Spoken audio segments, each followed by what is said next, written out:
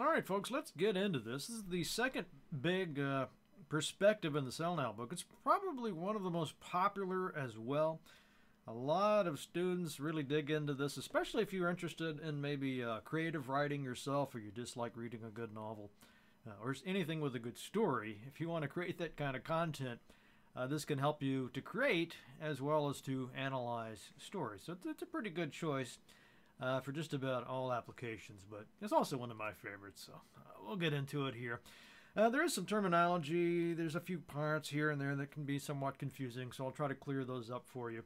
Uh, but overall, I think you'll enjoy this. Okay, so we'll get into what we mean by the narrative perspective, the key terms, the concepts you'll need to know. Uh, what distinguishes this from that Neo Aristotelian perspective we talked about uh, last time? Uh, we'll also talk about how you can select an appropriate text to analyze with this perspective, and then how do you actually write the uh, or do and uh, write up your analysis. Uh, so just to start off with, to kind of get the uh, uh, the ball rolling, as it were, I thought we could think about fairy tales for a minute. Little Red Riding Hood, Goldilocks and the Three Bears, you know, any number of Disney stories. And what you might not realize is that if you watch, say, uh, The Little Mermaid or Beauty and the Beast, uh, you know, any number of those Disney versions, uh, they're often quite different than the original sor- uh, source material. And so, what this blogger has done here, if I can get this pulled up, uh, Bridgman, uh, Bridgman Team, I don't know if that's a person or a, a group, but they have looked into some of these original stories like the Little Red Riding Hood and Peter Pan and whatnot, and drawn some different sorts of morals than you might find in the movies. Uh, for example, from Peter Pan, uh, the moral they find in that is that girls are always going to be more mature than, than boys. Uh, Little Red Riding Hood I thought was fun. Invest in good eye care. yes. uh, Alice in Wonderland. Uh, just do it. Uh, so they go on. I won't read all of these, uh, but it's, it's pretty it's pretty fun. I like this one too. Cinderella. It's not what you know, but who you know. uh, so there's just some kind of fun uh, they're having with this, but you know it's, it's kind of a symptom uh, too of the kind of fun you could have uh, doing this type of analysis too. Sometimes you can come away with a different moral than what you might expect on a casual viewing when you really start to delve into the the artifact and start thinking about the issues that we'll talk about in this lecture here. Uh, so let's, I want to give you a chance to do a little bit of a quick and dirty analysis, if you will. So just think about that opening scene, uh, Days Gone By. It's a scene that's not in the comic book, you know, as you, as you know. Uh, it's just something they created for the episode as a way to open this show. So don't worry about the rest of the show. Just this little opening bit uh, where Rick is getting the gas, and just pretend like that's its own thing, like that was all there was from start to finish. So watch that little sequence, and then come back and just think about what do you think is the moral of this story. If this were a fairy tale you were telling to a child, you know what would you, what would be the moral of that story?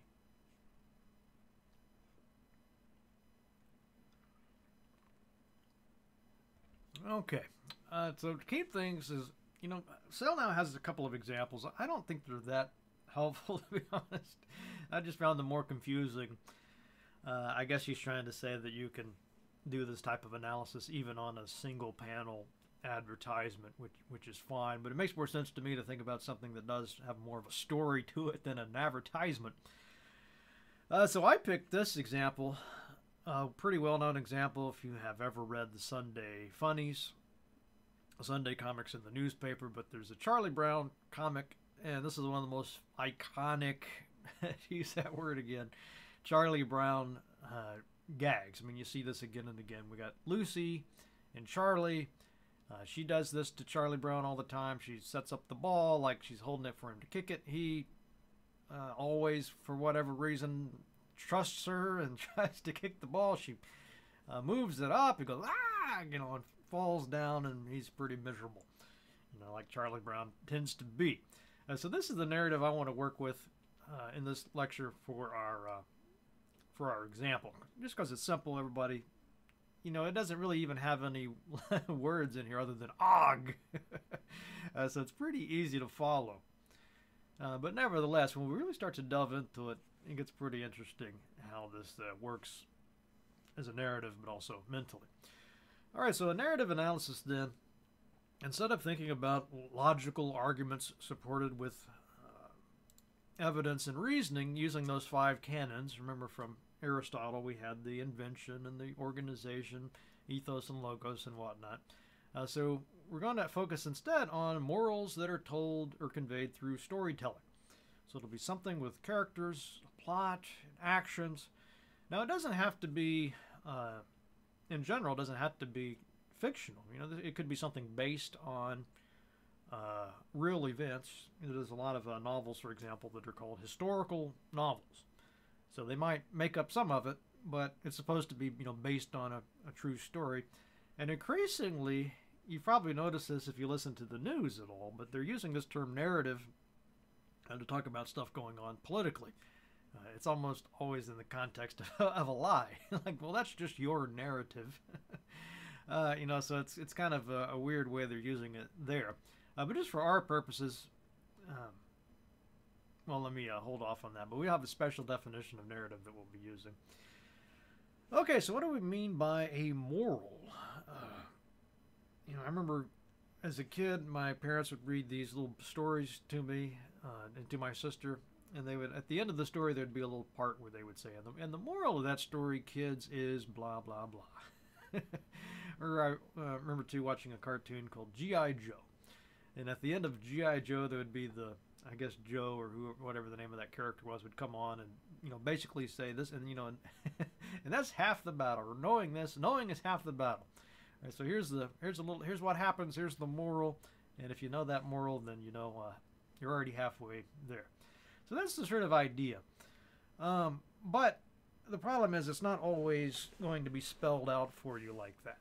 So what this analysis is about is really looking at what happens in the story, who it's happening to, and trying to get at what are the values there. Um, what is this story trying to teach us or trying to persuade us about the proper way to believe or behave? Uh, it's often quite subtle, so sometimes it's confusing. It's hard to figure that out sometimes. So we really have to do some uh, hard work uh, to try to figure out what is the moral, and is it ultimately is this a good moral or is it immoral? You know, you know, some of these stories you, you don't want to, for example, you know, I was thinking um, about the, you know, I just mentioned G.I. Joe, a cartoon I watched uh, as a kid. Uh, but there's always been concern about, from the public, about the programming uh, for kids, right? Children's television programming.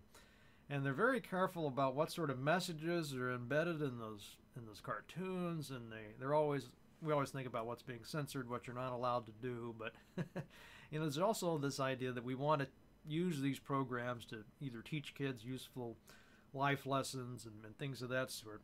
And so it's most people would agree, yes, you should do that. You shouldn't just let kids watch whatever, because some of some of that stuff they might come away with a, uh, you know, bad behavior based on these, you know, terrible things that you're letting them watch. Let's say. Uh, so we sort of intuit this about kids, but uh, I guess the point of this perspective is to say that doesn't never really goes away. As you get older, you might get a little bit wiser. You have more experience. You're able to tell, well, that's that's ridiculous. You know, I would never go for that. Uh, but nevertheless, these stories that we're watching on TV or reading are having some kind of impact on us, uh, whether we know it or not.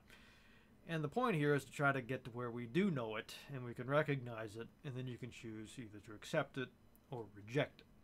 Uh, that's the goal.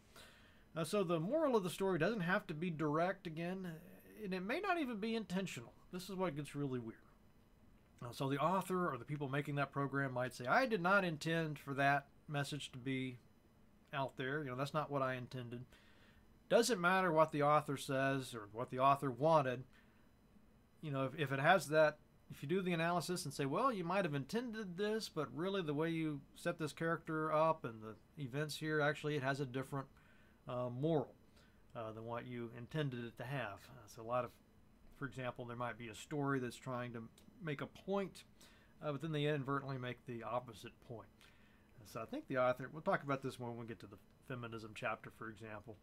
Uh, but just because a story might have a character in there who's, uh, well, I think she uses the example of a Murphy Brown, which I don't know how relevant that that is nowadays. But you might have a female character in a, in a show, let's say, and at first you think this is a strong role, strong, you know, female character. It seems to be, uh, the moral seems to be, you know, sort of a empowerment sort of message. Uh, but then when you really look closer closer at what happens in the story, you find out that uh, she's really unhappy, and she doesn't really get happy until she quits being a superhero and, and marries and settles down. uh, and you so you say, well, actually, they might have intended for it to be this, you know, sort of empowering message, but then when you really look at the story, uh, you find that uh, the moral is actually a lot more of a traditional message, and you, know, you may or may not uh, agree with that. That's just a quick example uh, off the top of my head. Uh, so critics attempting uh, attempt to identify the moral of these narratives. What is the underlying ideo- ideological message, and is it good or bad? And to be a narrative, it has to have at least two events. Uh, we'll get into what we mean by events, but two things. Uh, it has the, these two things. These two events have to be organized by time. Uh, they have to have some kind of relationship, cause and effect between them, or among them if it's more than two and they have to present a unified subject, or they basically have to tell a complete story. Uh, and then a couple other terms here we should clear up. Uh, the paradigm, that's kind of a, a, wonky term. Sometimes this is called a, a, theoretical framework. She calls it here a conceptual framework. Uh, it's basically just a way of understanding the world, sort of some base assumptions that you uh, have in mind when you're trying to make sense of things and, and other people, really. Uh, so the when we talked about that Aristotelian perspective last time, she says that was part of this rational world paradigm. So people are rational beings, right? We think about things and we make decisions uh, based on logical arguments, evidence, and reasoning. So we talked about how a character makes a speech, right? And people listen to the speech, and they, when they're listening to the speech, they think that, well, that, you know, that's a good point. that's a that's a good point uh, yeah, that makes sense. I'm going to uh, decide what to do based on you know thinking, cogitating, right? Uh, so that's a rational world paradigm. Um, but Fisher, uh, one of the people that now talks about in here, and I think Rowland, they say actually that's not how people work.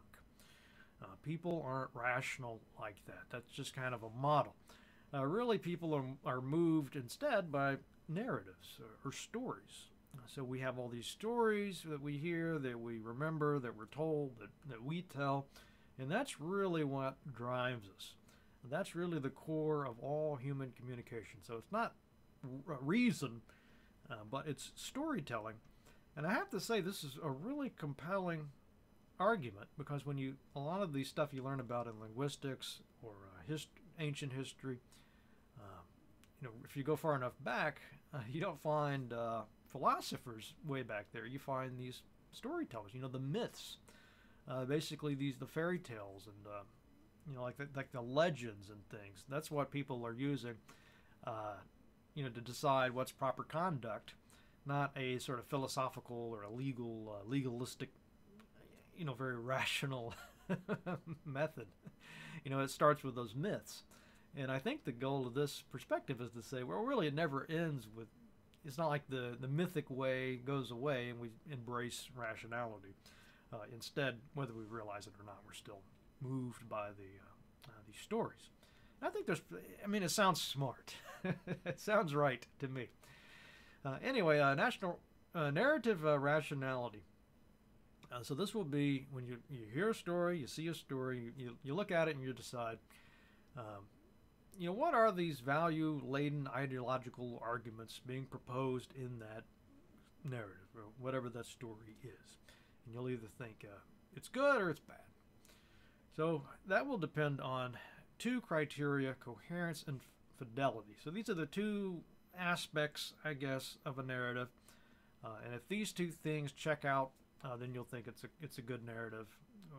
If they don't, you know, you'll be able to point out some flaws. So coherence is the degree to which the story hangs together. You know, everything sort of fits, it flows. And she says, uh, it's kind of like asking how plausible is it, or I don't want to. You have to be careful with the word realistic in this context. But you know, how realistic is it? Does it seem um, too far fetched, uh, or does it seem somehow like it, this could happen? So she talks a little bit in here about. Uh, you know, there's a lot of fantasy and science fiction, and there's all kinds of stories out there that, like Groundhog's Day, one of my favorite movies. Uh, obviously, that could never happen. Uh, it's uh, not plausible that that would happen. You just keep waking up on the same day, Groundhog's Day.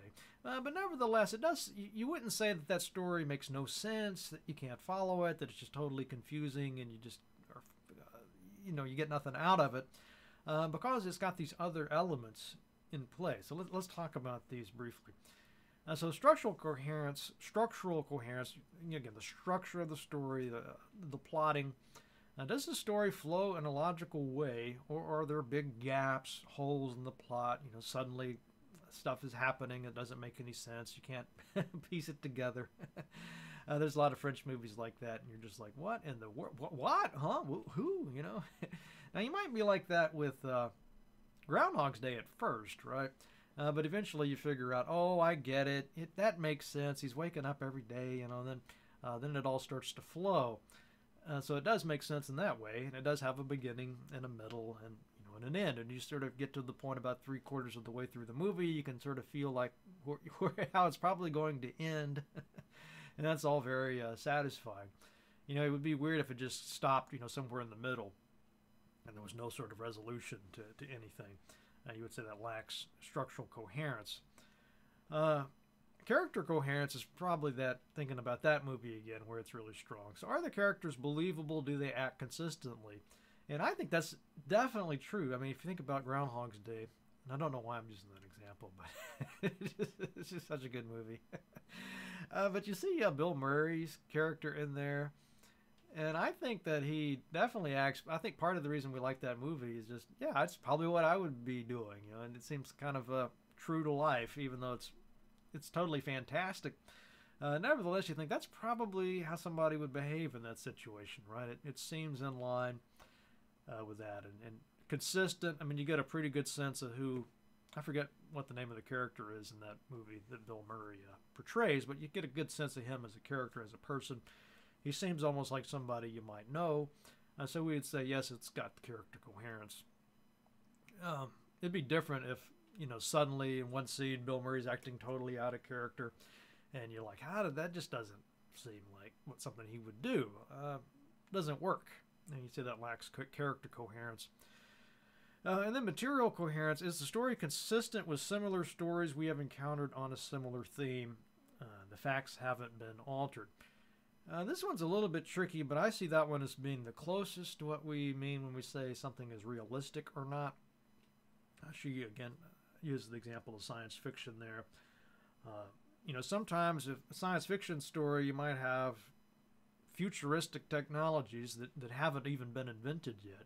But nevertheless, if it's done well, uh, you can sort of think, well, okay, we don't have that yet, but it seems like something we probably will have, you know, 100 years from now. So it seems to be uh, plausible. You say, well, yeah, we don't have a, oh, what's some of them? Like in, in Star Trek, they can travel faster than light and go to all these other planets. There's a show called The Expanse, you know, where we have like a colony on Mars. Uh, so for me, when I see that show Expanse, I'm like, yeah, we don't have a colony on Mars yet. So that's not something I'm familiar with from personal experience. Uh, however, I've taken some science classes. I've read a lot of science fiction stories, and, and I just I know that this is possible.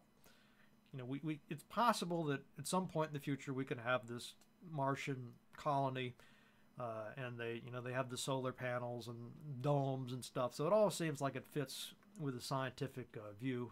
now, now, I'm not a scientist. I don't know somebody a, a real scientist might watch that show and think that just falls apart. Uh, but nevertheless, just based on what I know, it seems to be realistic. Uh, so that's this idea, the material coherence. You know, is, is it? I, I just think of that one as is it? Does it line up with the facts? Um, even in a fantasy movie, like or fantasy show like Game of Thrones, for example. Uh, that's fantasy. you know, there's a lot of stuff in there that it's never going to be. It's, it's not like a hundred years from now there will be, you know, magic.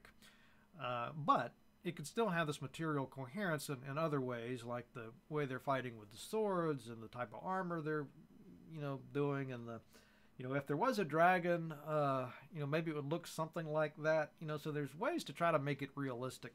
You know, it'd look a little strange, for example, if, uh, you know, if the dragon uh, looked totally unlike any dragon you've ever seen. if it looked more like a giant uh, tabby, you know, a giant house cat you think that's not what is going on. Uh, that does not seem, uh, you know, would just totally throw you out uh, of the narrative. You wouldn't be able to, to, to follow it. So hopefully that clears that up. Coherence. Now the fidelity has more to do with the values. Uh, so you're watching these characters, you're watching these actions unfold, their behavior, and you're asking yourself, does that ring true? Does that sort of jive with the way I look at the world? Does it seem truthful? Does it seem humane? Uh, do we like this character? Do we like the hero? Uh, do we hate the villain? You know, so on and so forth. And she says, uh, I don't know, she, she, might be quoting somebody here, but she says, to achieve this fidelity, uh, a story has to have good reasons to accept its moral. Um, so how do we get to this? The moral of the story is blah, blah, blah. And, you know, maybe the good characters have triumphed and the evil has been vanquished. Uh, so that's, let's say that was the the moral might be you need to uh, be prepared. Uh, you know, always think about the Boy Scouts motto, right? Be always be prepared. I say that was the moral, and you want to tell a story about that that sort of reinforces this idea of always being prepared. Uh, so she says to be successful with that, uh, you want the values embedded in the message. So we need to somehow get to this moral through what happens in the story. If the story has nothing to do with being prepared, uh, then you failed to get there, right? Uh, the relevance of the values to the decisions made. All right, so we want to be prepared. So maybe the maybe the story is actually about a Boy Scout. Uh, let's say the Boy Scout hears there's a hurricane or whatever coming, uh, so you know that they start uh, gathering food and toilet paper and water. Who knows? and then um, uh, comes to find out at the end of the story they really needed that because they can't get access to those stores and they're able just to easily use the uh, the supplies. Uh, so you could say, well, that was relevant. They had those sequences showing this Boy Scout in the grocery store buying all up, buying uh, the food, canned food, and you know all this material. Uh, and that because it plays in again to this moral, it has something to do with what we're trying to, to say. Uh, the consequences that result from adhering to or defying these values uh, so we could make the story a little more interesting. Maybe the next door neighbor uh, is not prepared, does not take the steps. the, uh, the, Boy Scouts family does. So you could say, as it turns out, the, uh, Boy Scouts family ends up having to share some of those resources with, with the neighbor who wasn't prepared. And so everybody learned a lesson that day, right? Uh, the degree to which they conform to the values of the audience. so there you'd probably, in that little story I just came up with out of nowhere, you'd probably say that does sound like it would probably click with people. They probably like the idea of, I mean, who doesn't like the notion of being prepared? Uh, it seems to be a good uh, value. And plus, if they did share with that neighbor who wasn't so uh, prepared, that also would show generosity and a neighborly uh, spirit. Most people would say that does conform to my values. But let's imagine the story was a little different. Let's say the, the Boy Scouts family decided they would not share or that uh, instead they would go steal uh, things, or you know, who knows, all kinds of evil stuff. Uh, you might say that does not really conform to, to my values. I'm not really happy with this program. I certainly wouldn't show this to anybody if it had that kind of moral to it. Uh, you might think it's a, satire or a parody or something, but uh, again, probably not something that would have a lot of fidelity for you. Uh, okay, so back to this idea of the structure uh, of the, coher- or, uh, coherence and what pieces it needs to have. And Sellnow says there needs to be, again, two events, and she says there's two, really two kinds of events. Uh, the one is the active event. This is probably what you think about most of the time. So these express an action, somebody's doing something. So again, to come back to this Peanuts cartoon here. We've got Lucy. She puts the football down. I'm just describing this, right?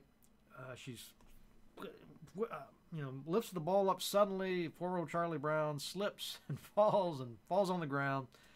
And uh, that's the end of the story. Uh, so you see, there's a lot. Of, actually, there's quite a few active events here. You know, she puts the ball down, etc. There's at least three things that happen there, um, and those are active events. Uh, the state of events are states or conditions. Uh, think about the emotions, you know, the, the smiles, the happy and the maybe happy at first, excitement, anticipation, who knows. Uh, but clearly, at the end there, you've got Charlie Brown on the ground. He looks very unhappy, I would say. So I guess you might see two state of events here.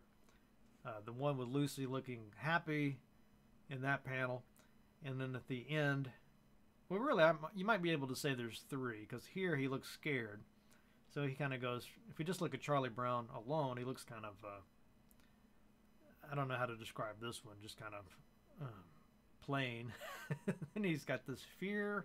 he's falling. He's slipping. He's terrified, basically. And then the end where he looks really disappointed, as, as Charlie Brown should be. Right? he's hurt and frustrated. Uh, so you can see that there's there's really two different kinds of things, uh, the sort of emotional states uh, that you're in versus what's actually happening in terms of, of, actions. Now this is an important one: is the time. Uh, so with a comic panel, you know, and when we get to McCloud, he'll talk all about this. But it's kind of mysterious in a way, like how much time passes between these panels. Uh, here it looks like it's pre, maybe just a few seconds in between, right? You can almost imagine this Lucy there with the ball. She puts it down. Charlie Brown. Maybe there's a scene that's not shown where he's running up and kicking. You know, we don't have that scene, so there might be a little gap there. Uh, but nevertheless, it's pretty clear that these, these are all sequential, right? This, then this, then this, then this. It flows in what we call a chronological, by the clock uh, pattern there. And that's uh, one way to organize events. Now, it would be strange if we had no idea of how much time was this like years later? Was this before? Uh, what what is the connection here? If we couldn't figure that out, uh, you would say it really lacks coherence because we can't figure out when the flow is, is happening. It has no flow. It's real hard to follow. Uh, now you have to go beyond that though. You know, just because A and B and C follow in a chronological sense, that's not really a story yet because we haven't tied these events together in any significant way. That's the causation. And that's the cause and effect. We want to say it's not just these aren't just random photos we went out and took. You know, instead that there's um, some cause and effect happening. Uh, if there's if there's not, it's not really a narrative. Uh, there has to be some type of causal relationship.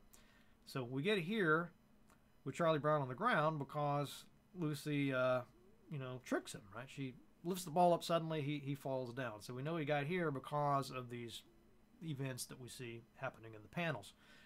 We say that's it's pretty obvious. It's easy to follow, cause and effect. We we can we can do this. Uh, whereas in some badly done stories, uh, it might not be clear at all, or, or, you might just say, "How did that? How did we get here? This, huh? You know, it doesn't make sense. It, you know, I, I can't follow it." You know, of course, in real life, now, this happens all the time, right? Things happen.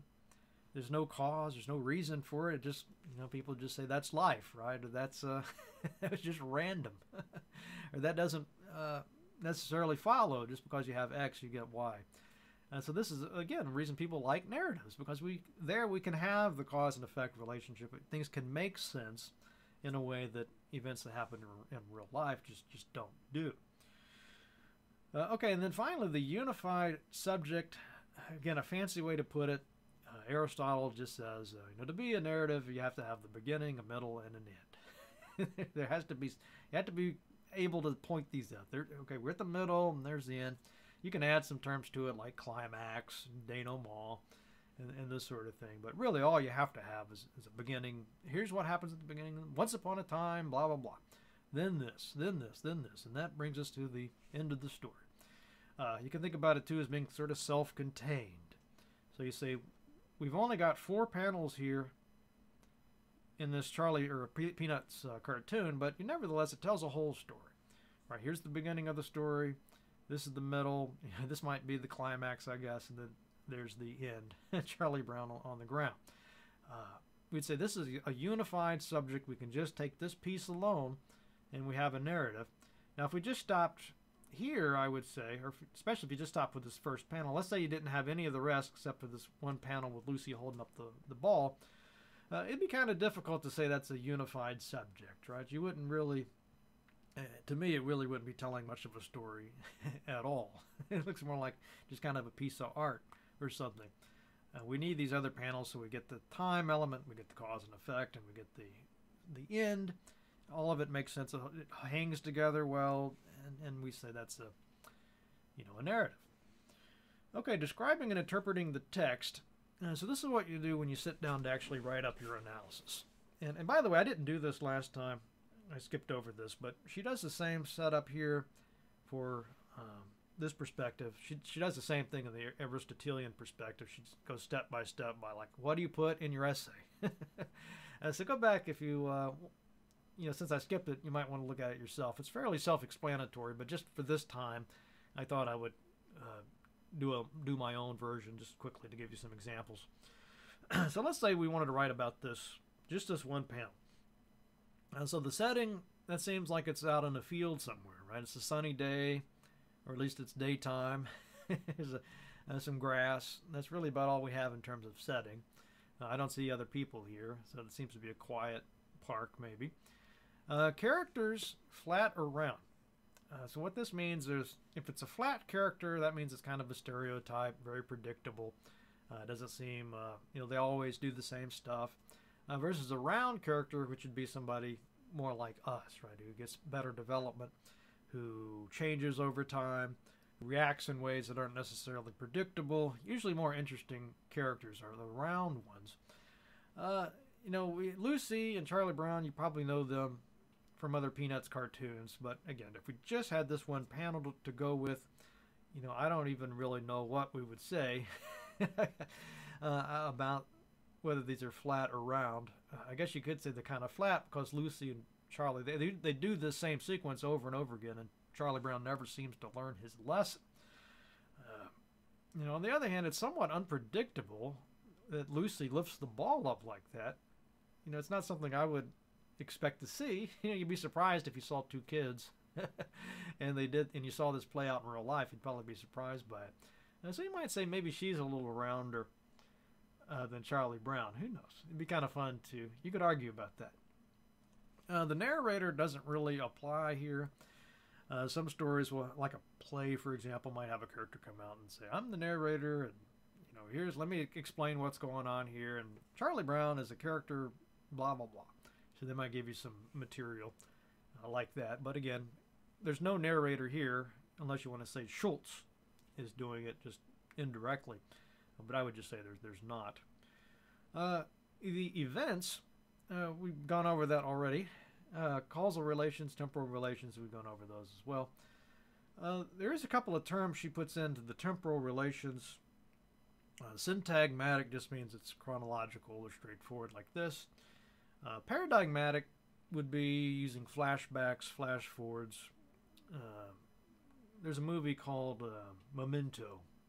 It's, a classic movie where there's lots of interesting work done with the temporal relations and you know, there's movies like Interstellar's another one. You know, was another one? Arrival. a lot of science fiction films love this. uh, but you know, at first time you watch it, you're not sure. Like, is this happening now? Is this a flashback to something that happened before the movie? Uh, is this in the future? Uh, so that you would say that's a paradigmatic temporal relation, uh, not the syntagmatic. Uh, the intended audience and their attitudes and values towards the subject now, this one's pretty interesting in terms of Peanuts because, you know, it is sort of a casual audience. These are in the Sunday funnies. Uh, you imagine, you know, I was reading Peanuts as a small kid, you know, as soon as basically, you know, six, seven years old, I'd start reading these. but somehow it's still compelling. You know, isn't Charles Schulz from uh, Minnesota? I think he's, I'm pretty sure he is. Uh, but, but anyway, Uh, you read Charles Schulz as an adult, and it's still kind of entertaining, but it's entertaining in a different way. I, I don't know how to describe it. It seems like it's more philosophical, you know, as you get older. You know, there's another comic called uh, Calvin and Hobbes, and it's the same way. I loved it as a kid, and now as, as an adult, when I see those cartoons, it's almost like it, it reads differently. Uh, but that would be something, you know. Uh, I'd probably still say the intended audience maybe kids, maybe adults, but in any case, they probably uh, would look at this comic and think, well, Lucy's kind of a jerk. Poor old Charlie Brown. You know, but at the same time, you're like, you know, this is kind of life. This is, we can all relate to this. You know, you, you try to trust people. uh, you want to give people the benefit of a doubt. You're, you're optimistic. You know, this time will be different. But man, they just let you down over and over again, and you've really only got yourself to blame, right? So you just this look on Charlie Brown's face. You know, I mean, who can't relate to that? uh, so you'd probably say we share those, uh, you know, the values in this comic, uh, and the moral conveyed. You might not like it, you know. So this is, yeah, the potential implications of this. So, so is the argument being proposed here about how we should live our lives? Is it, is it good or bad? And again, there's no, you know, this is what the argument, that's why we call it an argument. Because uh, you could look at this same comic a couple different ways and come out with uh, different morals that you think it is teaching, or different values that are uh, underlying this. I mean, I, mean, I kind of went over a few of them as I see them. Again, be, being optimistic, being let down, being disappointed. Uh, but on the other hand, you're willing to give it another go. Right, you're always sort of willing to trust people even though they let you down over and over again. So I guess you could you could say, for example, the moral here is it's just futile to expect people ever to change. Uh, people are going to just keep doing the same. It's like the definition of insanity, right? keep doing the same thing, expecting different results. Uh, that's foolish. You know, the moral should be to wise up, Charlie Brown. You, know, you, sh- you should be a little bit more suspicious, and not so trusting uh, of other people. And is that a good moral? Uh, you know, maybe so. May, you know, I could say uh, sure, uh, especially if people have let you down time and time again, tricked you. You should be a little smarter. You know, once bitten, twice shy. Uh, should be uh, the moral. You should not just keep going along with that. Uh, so you might say that'd be good. You know, if everybody adopted that value and was, you know, the first time somebody tricks you, then you or lies to you, like uh, Lucy does basically. You would, didn't ever trust her again. You'd probably be better off. But on the other hand, you know, I could hear somebody else saying, "Well, but people do change, and you know, maybe the you know 500th time, uh, Lucy would let him kick it." Okay, uh, let's take a look at the student essay again, Alfred J. Cotton, and uh, let's look at it together. That's a good idea. Uh, so what I wanted to do when you when you write these essays, you there's a couple sources that you need to use. Uh, you need to obviously quote the artifact that you're looking at. In this case, he's looking at the this movie, The Help. Uh, but he's also got some quotes in here, basically from Sellnow. You know, she cites a bunch of sources, and then he, Alfred J. Cotton III, is picking up a few of those. He's got Fisher there, you can see. He's got some quotes in here from uh, this Robert C. Rowland.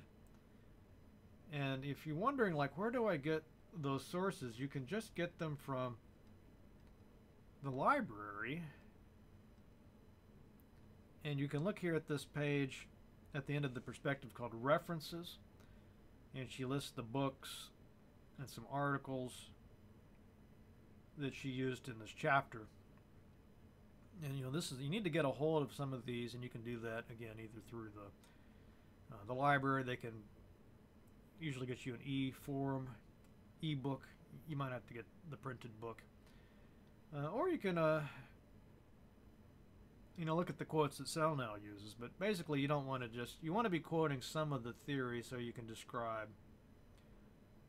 how you're using that perspective. Let me back up a little bit here so you can see the trying to get to the start of this article. Here we go. Uh, so he's got a quote here about his artifact, the help. Uh, the Help was one of the top grossing and critically acclaimed movies of 2011. So he's describing this movie a little bit, and he's got a quote there. Uh, this White and Bennett piece, I guess, that talks about it being one of the most acclaimed uh, videos. And then when he starts talking about how what narrative analysis is, again, don't assume your reader's already read this book and is in this class and knows all about narrative perspective.